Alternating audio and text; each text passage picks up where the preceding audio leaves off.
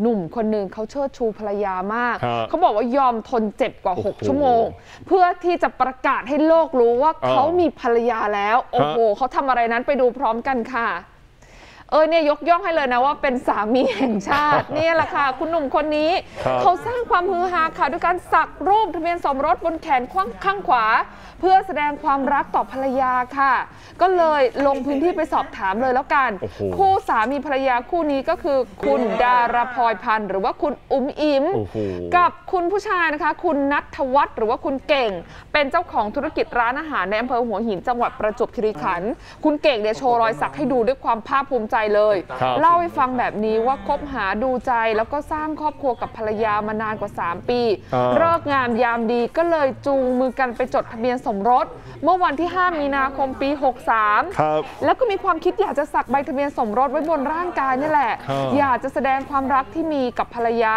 แล้วก็เป็นสัญลักษณ์คือพอเห็นรอยสักปุ๊บเออจะได้นึกถึงเรื่องราวความรักของกันและกันครับเตือนใจเอาไว้วันไหนทะเลาะกันไม่เข้าใจกัน จะได้ใจเย็นๆลงเออแล้วก็ส่วนที่เลือกสักไว้ที่แขนข้างขวา เพราะว่าเป็นอวัยวะที่อยู่ข้างกายอืม มองไปตอนไหนก็เห็น อยากจะย้ำชัดว่ามีภรรยาแล้ว อ๋อก็ตอนแรกจะถามว่าทำไมไม่สักไว้ที่หลังไม่ได้อยาเรากต้องโชว์ประกาศให้โลกรู้อ๋อประกาศพี่ให้นะโลกรู้ใช่ไหมฮะ ว่าเรามีภรรยาแล้วรักภรรยามาก ครับ ก็เลยเดินทางไปสักเมื่อวันที่ 25 มิถุนายนที่ผ่านมา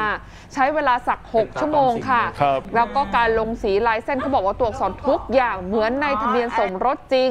ตอนนี้ประทับใจมากๆ คือรอยสักมันเริ่มชัดเจนดีขึ้น ครับแล้วก็อีกประมาณ 2 สัปดาห์เนี่ยก็น่าจะสมบูรณ์ อ๋อแล้วก็วางแผนด้วยนะคือคุณภรรยาเนี่ยตั้งท้องอยู่ ครับก็จะไปสักเพิ่มเป็นรูปหน้าภรรยากับลูกที่กำลังจะคลอดค่ะโอ้โห โอ้ยเนี่ย ตัวจริงเลยอะ ยกย่องเลย คุณอุ๋มอิ่มก็เล่าให้ฟังว่าตอนที่คุณเก่งบอกว่าจะไปสักคือตัวเองอะตกใจนะ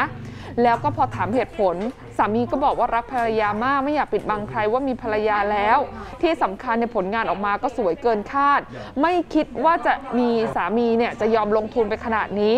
แล้วตอนนี้เพื่อนๆก็เข้ามาชื่นชม ที่สำคัญไปสะกิดสามีไปสักบ้างสิอืมเดือดร้อนสามีของงานเพื่อนๆแล้วนี้แหนะละพ่อบ้านหลายท่านนะพอถ้าคุณภรรยาได้ดูข่าวนี้นะ อาจจะมีหนาวเหมือนกันนะเพราะฮะบ้านจะใจกล้าหรือเปล่าก็นั่นเอง ไม่แน่เหมือนกันนะครับ นี่นะฮะก็หลายคนบอกแบบนี้นะฮะถ้าเป็นความทุกข์เนี่ยจะทำให้หัวใจทำงานหนักถ้าเป็นความรักเนี่ยทำให้หัวใจทำงานดีโอ้นะฮะคนก็เลยมีความรักมีความสุขแบบนี้นะฮะค่ะ น้องเอ๋ยนี่ตกลงในหัวใจทำงานหนักหรือว่าหัวใจทำงานแหดีมฮะทั้งหนักทั้งดีได้ไหม จัดไปแล้วกันนะครับ